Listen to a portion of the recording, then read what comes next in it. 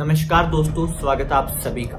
भविष्य मलिका के अंदर ने एक लाइन लिखी है, जिसके अंदर लिखा है कि जब महाप्रलय का समय आएगा, यानी कि कलयुग अंत का समय आएगा, तब उससे काफ़ी साल पहले से ही कल की अवतार इस पृथ्वी पर आकर अपना कार्य शुरू कर चुके होंगे। वह कल की अवतार के भी आने से पहले कली पुरुष इस पृथ्वी पर कार्य शुरू कर चुके होंगे। वह भविष्य मलिका की माने ना तो साल 2024 व साल 2025 वो साल होने वाला है जब इस पृथ्वी पर बहुत बड़ा बड़ा परिवर्तन होने वाला है। वे जिस तीसरे विश्व युद्ध की हम बात कर रहे हैं, वो भी आपको यही दो सालों में देखने को मिलेगा। लेकिन इसी भविष्य मलिका के अनुसार साल 2023 के अंदर उसकी पूरी बेस रूपरेखा तैयार कर दी जाएगी। अब इन सारी भविष्यवाणी को अगर सच माने तो इसका मतलब तो यह निकलता है कि कल के अवतार भी इस पृथ्वी पर आके अपना कार्य कर रहे हैं और कली पुरुष भी। लेकिन इस बात के अंदर आखिर कितनी सच्चाई है? इस पर आज की इस वीडियो के अंदर डिटेल से बात करेंगे। वे सारे जितने भी हमारे धार्मिक ग्रंथ हैं, उनका निचोड़ आपको बताने वाले हैं, जो कली पुरुष, कल के अवतार के बारे में लिखे गए हैं।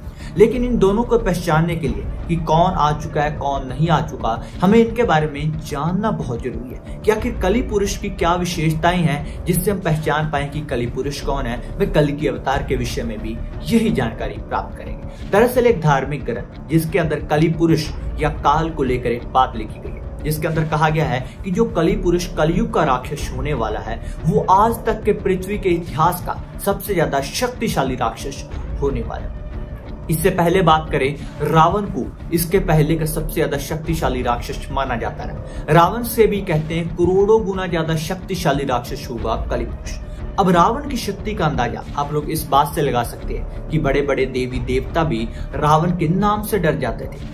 बड़े बड़े देवी देवता कहते हैं कि मौत को उसने अपने चारपाई के साथ बाँध लिया, शनिदेव को उसने अपना बंधक बना लिया था। इतना शक्तिशाली राक्षस था रावण। कहते हैं, अब के समय में क्या हो रहा है? एक लखपूत सवाला कनाती तय रावण गर दिया न बाती।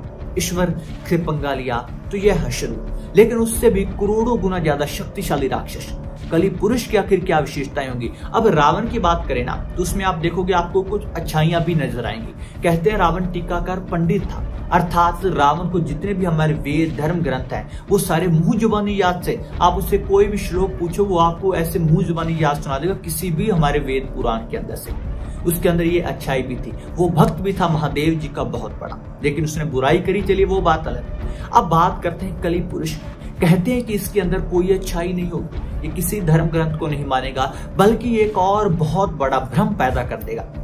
कली पुरुष ये बात जानता है कि हम पृथ्वीवासी ये बात जानते हैं कि जब भी युग परिवर्तन का समय आएगा, बुराई बढ़ेगी, तब ईश्वरीय अवतार हम सभी को बचाने के लिए, हमें सही मार्ग दिखाने के लिए ज़रूर अवतार ले। ये हम सभी लोग बात जानते हैं, चाहे वो कृष्ण जी रहे हो, चाहे वो श्री राम जी रहे हो समय समय पर हर बार ये चीज़ होती आई है। लेकिन कली पुरुष इस बार एक नया प्लान जो कि हमारे भविष्यवाणियों के अंदर लिखा है, वो ये तैयार करेगा कि लोगों को भ्रम पैदा कर देगा कि कौन है कल की अवतार और कौन है कली पुरुष अब आप लोगों देखोगे कि पिछले चार पाँच साल के अंदर भारत के अंदर जो हमारे सनातन धर्म के प्रचार प्रसार वाले साधु संत थे, उनकी जो इमेज थी, वो इस प्रकार से धूलित करी गई, इस प्रकार से खराब करी गई कि आज के समय में अगर आप किसी को ये बात बोले कि मैं ये बाबा जी के पास जा रहा हूँ, या बाबा जी नाम सुनकर ही आप लोगों को एक ढोंग, एक फ्रॉड की फील आने लग जाएगी कि यहाँ पर कुछ ना कुछ तो धोखा या गलत पक्का होगा। अब ये इमेज आई, बाबा जी तो एक बहुत पवित्र नाम था ना। ये ही कार्य करा है कली पुरुष ने। कई लोग पूछते हैं कि हमें क्या पता कली पुरुष कार्य कर रहे हैं। ये कर रहे हैं। बाकी भविष्य मलिका के अंदर एक और लाइन लिखी है कि जब कलयुग अंत का समय आएगा ना, तब पुरुष प्रसव करने लगेंगे। अर्थात आदमी भी बच्चे को जन्म देने लगेंगे और विदेशों में दो से तीन केस सर्जरी के माध्यम से ऐसे हो चुके हैं, जिनमें एक आदमी ने बच्चे को जन्म दिया। बाकी और भी काफ़ी ऐसी भविष्यवाणियाँ थी, जो कि यहाँ पर वीडियो पर बताते हुए भी शायद ज़ुबान लड़खड़ाई। कि ऐसी ऐसी चीज़ें भी आज के कलयुग के अंदर हो रही हैं, जो तब भविष्यवाणियों के अंदर लिखी गई थी। अब इन सब का मतलब यह निकलता है कि जो कली पुरुष की हम बात कर रहे हैं, वो कली पुरुष अपना काम ऑलरेडी शुरू कर चुका है।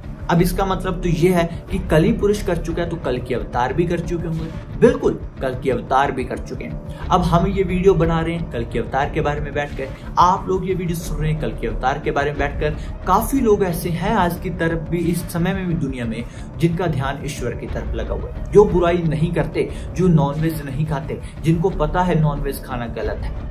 वो क्यों हो रहा है ये चीज़ें? ये हो रहा है कल की अवतार के कारण। लेकिन कली पुरुष इसमें भी अपना पूरा रोल निभा रहे हैं। दरअसल हो ये रहा है कि आपको देखेगा, सामने से देखेगा कि ये व्यक्ति बहुत धार्मिक व्यक्ति है।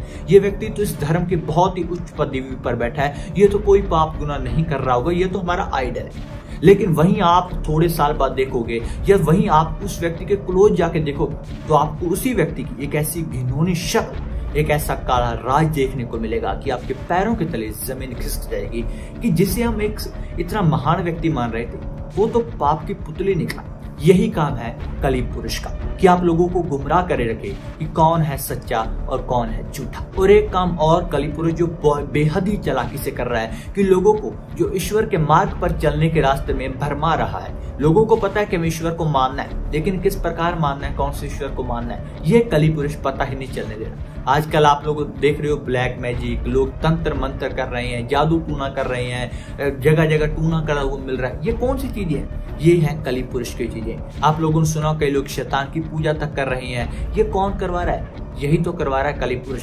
आप शैतान की पूजा में थोड़ी एक्सपर्ट होते जाएँगे, आपके पास जादुई शक्तियाँ आ जाएँगी, आप तंत्र मंत्र करने लग जाएँगे। आपने भी कई ऐसे साधु संत देखे होंगे, या सुना होगा कि ये संत पानी पर चल लेते हैं। हम इतिहास की बात नहीं कर रहे, हम आज के समय की बात कर रहे हैं। आप उनके सामने बैठोगे तो वैसे चुटकी बजा के आपको जादू थोड़ी मोटी करामाते दिखा देंगे।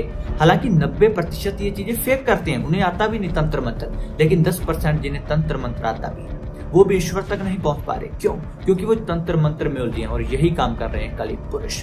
अब कली पुरुष ये काम कर रहे हैं तो कल के अवतार भी अपना कार्य कर रहे हैं, लेकिन अब इसका मतलब यह भी निकलता है कि जिस प्रलय, महाप्रलय की हम बात कर रहे हैं, उसका भी आना तय है। लेकिन अब कल के अवतार आ चुके हैं तो फिर प्रलय, महाप्रलय क्यों आएँगे? आपको एक बात क्लियर कर दूँ कि अगर आपको ऐसा लग रहा है, जो ईश्वरीय शक्ति की हम इंतज़ार कर रहे हैं या बात कर रहे हैं, वो हम सभी लोगों को इस पृथ्वी पर ज़िंदा रखने आई है तो आप गलत है। ऐसा नहीं होने वाला। वो हम सभी को ज़िंदा रखने के लिए नहीं आए। वो हम सभी को ये जो हमारा जन्म मरण का चक्कर है, इससे आज़ाद करवा के ज़्यादा से ज़्यादा लोगों को भगवान के पास यानी कि उनके जो हमारी आत्माओं का निज घर है, वहाँ पहुँचाने आए ताकि कली पुरुष का ये देश है। जो हम पृथ्वी की बात कर रहे हैं, हमारे ये ब्रह्मांड की बात कर रहे हैं, इस लोक की बात करें, ये इसका राजा कली पुरुष है, ठीक है? ये कली पुरुष का देश है। हम आत्माओं को इस कली पुरुष के देश से निकालकर भगवान के देश में ले जाने के लिए हुआ है। और ऐसा पहली बार नहीं हो रहा। विष्णु पुराण के अंदर एक ज़िक्र मिलता है कि जब पृथ्वी पर इतना पानी बरसा, इतना पानी बरसा कि सब कुछ तबाह बर्बाद हो गया।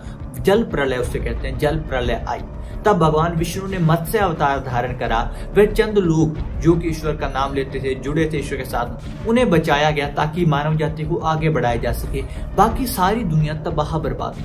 लेकिन उनमें से भी काफ़ी लोग ऐसे थे जिन्हें ईश्वरीय शक्ति ने बचाया। वह उन्हें मुक्ति दे दी। लेकिन काफ़ी लोग इस जन्म मन के चक्कर में फंसे रह गए। अब यही काम बहुत बड़े स्तर पर। कल के अवतार करेंगे। कहते हैं कि भविष्य मलिका में एक लाइन लिखी, आज के समय में सात करोड़ सात अरब पॉपुलेशन है दुनिया की, ज़्यादा ही होगी। लेकिन मात्र तीस करोड़, तीस से चालीस करोड़ लोग ही बचेंगे तीसरे विश्व युद्ध के बाद पृथ्वी पर। अब इसका अंदाज़ा आप लगा सकते हो कि छह अरब से ज़्यादा, छह अरब सत्तर करोड़ लोग उस युद्ध के अंदर मारे जाएँगे।